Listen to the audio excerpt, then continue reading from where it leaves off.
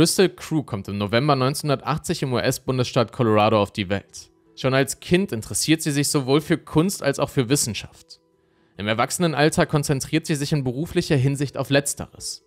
Sie macht einen Bachelorabschluss in Biochemie. Danach schlägt sie in diesem Bereich auch eine Karriere ein.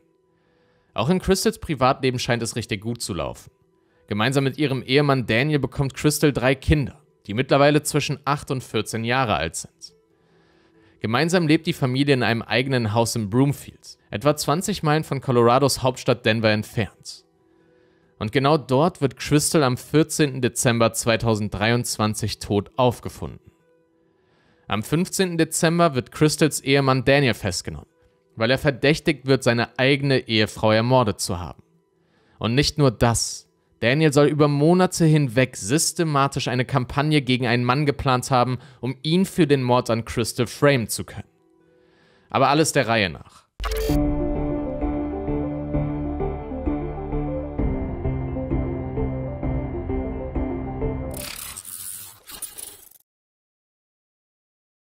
Bevor Crystal mit ihrem späteren Ehemann Daniel zusammenkommt, hat sie eine andere Beziehung. Von diesem Freund trennt sie sich aber 2000. Dann beginnt die Beziehung zu Daniel. Dennoch kontaktiert der Ex-Freund sie über Jahre hinweg immer mal wieder. Zuerst im Jahr 2002, zwei Jahre nach der Trennung. Dann nochmal 2004, 2005, 2010 und noch einmal 2016.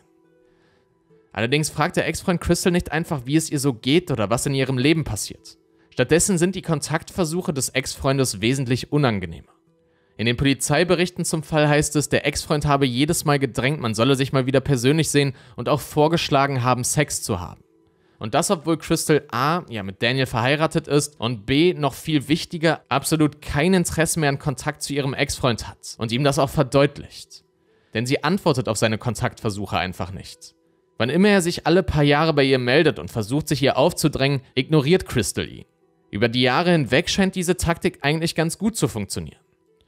Aber im Oktober 2023 sucht Crystal eine Polizeiwache auf, um eine Anzeige zu stellen. Um Halloween herum geht es mit den Nachrichten wieder los. Und dieses Mal wirken sie um einiges bedrohlicher als in den Jahren zuvor. An einer Mail, die sie bekommt, ist sogar ein Foto angehängt. Es wurde heimlich aufgenommen und zeigt Crystal beim Verlassen ihres Büros. Verständlicherweise macht Crystal das große Angst, weshalb sie eine Anzeige wegen Belästigung erstattet. Aber auch nach der Strafanzeige hören die Nachrichten nicht auf. Sie kommen immer öfter und enthalten intime Details aus Crystals Leben. Am 13. November eskaliert das Ganze noch weiter, denn in einer Nachricht wird Crystals Ehemann Daniel ganz offen bedroht. In der Mail, die Crystal erhält, steht: Ich werde dich retten. Hilf mir, ihn loszuwerden und wir gehen weg. Ich weiß, er hält dich davon ab, mit mir zu reden. Du willst ihn nicht. Du willst mich. Crystal geht daraufhin abermals zur Polizei. Sie leidet im letzten Quartal 2023 sehr unter den Nachrichten. Sie hat Angst nicht nur um sich selbst, sondern auch um ihren Ehemann und ihre Kinder. Crystal bekommt Angstzustände und wird zunehmend paranoid. Ständig hat sie das Gefühl, verfolgt zu werden. Denn auch nach dem zweiten Polizeibesuch gehen die Nachrichten noch weiter. Am 14. Dezember 2023 meldet sich dann Crystals Ehemann Daniel bei der Polizei. Er gibt an, gerade nicht zu Hause zu sein und seine Frau nicht mehr erreichen zu können. Deshalb bittet er die Polizei, einen Welfare-Check durchzuführen. Denn vor dem Hintergrund der bedrohlichen Nachrichten der letzten Monate macht Daniel sich nun große Sorgen. Die Polizei macht sich sofort auf den Weg zum Haus der Crooks. Die Polizei macht sich sofort auf den Weg zum Haus der Crooks. Als niemand die Tür öffnet, schauen die Streifenpolizisten durch eines der Fenster. Und durch das Fenster sehen sie Crystal auf dem Boden liegen. Um sie herum tiefrotes Blut. Die Beamten verschaffen sich Zutritt zum Haus und versuchen noch Crystal wiederzubeleben. Aber jede Hilfe kommt zu spät. Die dreifache Mutter kann nur noch für tot erklärt werden. Im Haus der Crooks gibt es, wie in vielen US-amerikanischen Haushalten, ein Überwachungskamerasystem. Für die Polizei ist das ein wichtiges Mittel, um herauszufinden, wie es zu Crystals Tod gekommen ist. Zumindest in der Theorie. Denn als das Material überprüft werden soll, findet die Polizei nichts. Am Morgen des 14. Dezember 2023 sind mehrere Kameras im Haus der Crooks ausgeschaltet. Unterdessen liegen die Ergebnisse der Obduktion von Crystals Leichnam vor. Sie erlitt zwei oder mehr Wunden durch stumpfe Gewalteinwirkungen am Hinterkopf und eine Stichwunde an der linken Seite ihrer Brust. Mit anderen Worten, Crystal Crook wurde in ihrem eigenen Haus ermordet.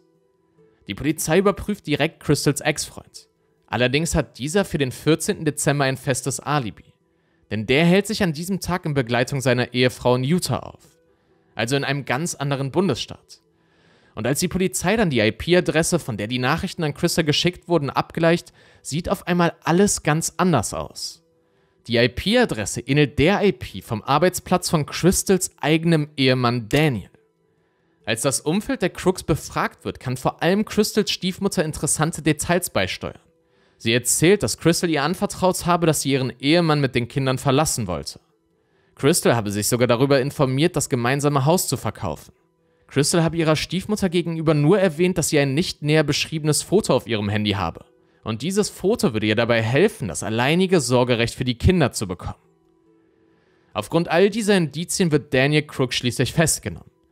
All die Nachrichten, die Crystal seit Oktober 2023 bekommen hat, kamen gar nicht von ihrem Ex-Freund, sondern von ihrem eigenen Ehemann.